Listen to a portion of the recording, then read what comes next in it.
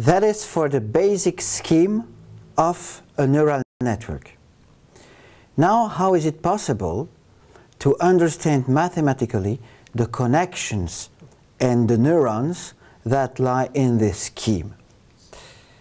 We have here x1 to xp that correspond to the different covariates. These different covariates are all linked to other neurons, Z1, Zm, that lie here in the hidden layer.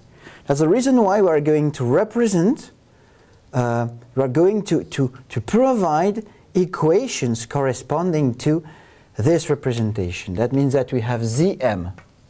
Zm for m equals 1 up to capital M. Hmm? What is Zm? Zm is going to be a combination of the covariates. I put that in alpha m transposed times x. Hmm? That will be x, a vector of covariates. It corresponds to x1, x2, x3, xp. And it's multiplied by the row vector, which is also of uh, size p, hmm, which corresponds to, man, to, to the coefficients alpha 1, alpha 2, alpha m that multiplies different x. Hmm? This is alpha 1 x1 plus al alpha m1 x1 plus alpha m2 x2 plus alpha m3 x3 and so on. This is what is inside this expression. To that we add a constant term. It is usual in regression uh, to put intercepts. Here this constant term is often named in neural networks a bias. And next we take a function sigma. Sigma is in fact what is named an activation function. This is a sigmoid. We are going to explain that in some minutes. This is the way we get Zm from X. E each Z is a combination of all the X, of all the covariates.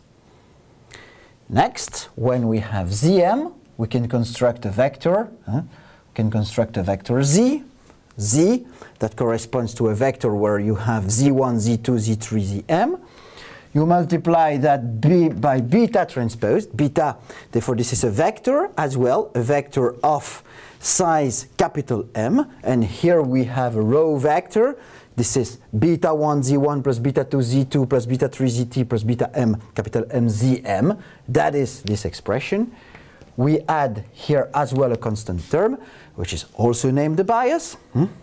And we have here uh, a combination of the differences, hmm? combination of the differences, and we add another function here.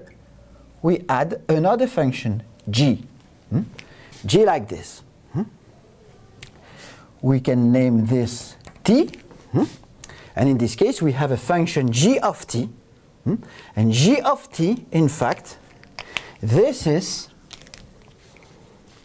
a function, a general function, g of t, is also a general function h theta of x. Hmm? In fact, you have t? Let's say new variables that are constructed through z1, z2, z3, z capital M. This is t. You have a function g of t that takes the combination of all these uh, z. Hmm? Therefore, this corresponds to the, the, here you have a combination, you have weights for the different z that corresponds to the connections here. You have a function of uh, the, the, the linear combination of the z's to provide something which has to be as close as possible to this y. This y is predicted in a way by my pink quantity here, h index theta of x.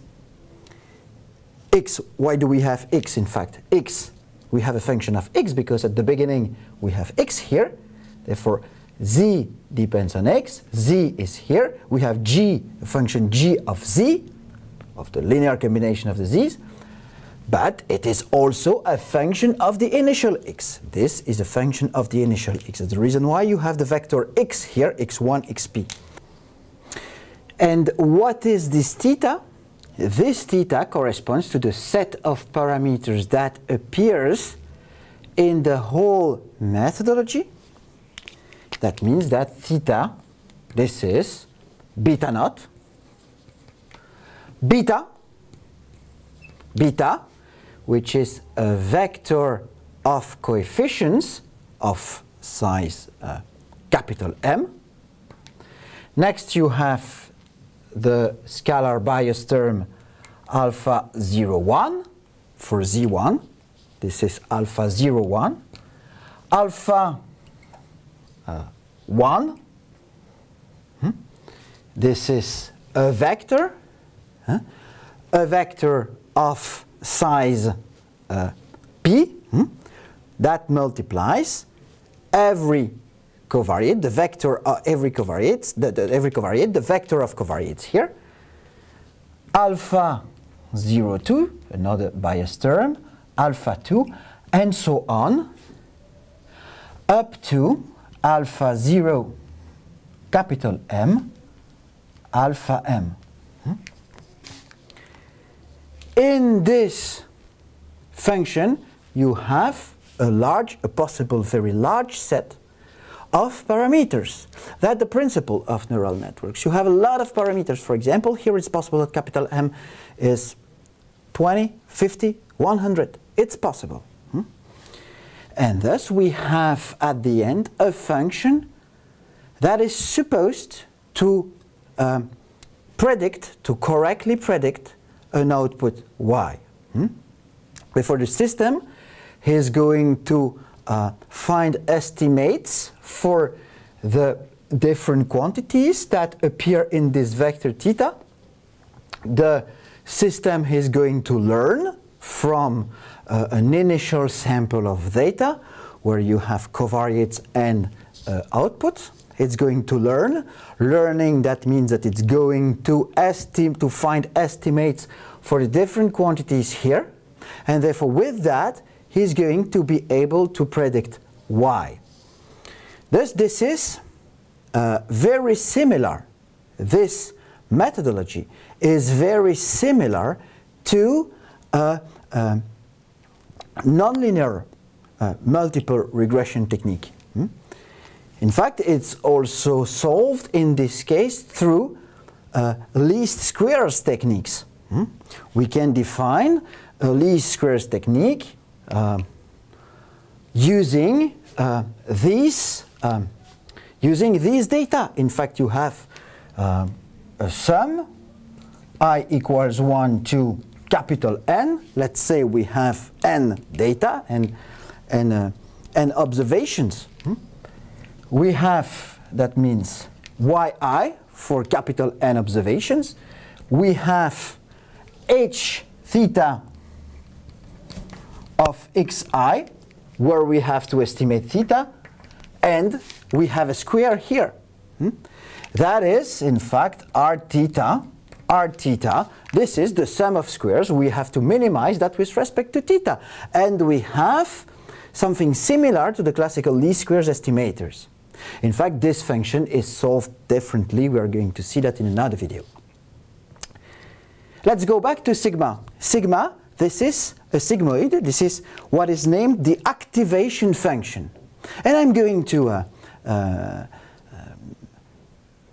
give a, a, representation of sigma. Hmm? Sigma, it is, let's take a, an axis like this, an axis like this. Hmm? Let's take these axes. Hmm? You have uh, 0 here. You have sigma here, which is a function like this. Sigma is a function like this. Sigma, this is, uh, we, we, can write a, um, a formula for it. Sigma of v, this is 1 divided 1 plus exponential of minus v. Hmm? Here you have, I can write as well sigma of tv. Hmm? And here you have the case, let's say, where you have t equals 1. Hmm? This is exactly the function 1 divided by 1 plus exponential of minus v. You can have other uh, shapes. Hmm? You can have, for example, here, like this, these functions join each other at the end here. But this is for the case t equals 10. Hmm? And a third case, let's say, let's take this one. Let's take in, yes, in, in yellow, let's say, here. You have a very flat curve like this, more flat. Huh? It's still a sigmoid, but here you are in the case t equals, oh, let's say, it's one half, a bit less than one half, let's say one fourth, one fourth, hmm? like this. Therefore, this, this flows a bit here. But anyway, we see how this activation function works.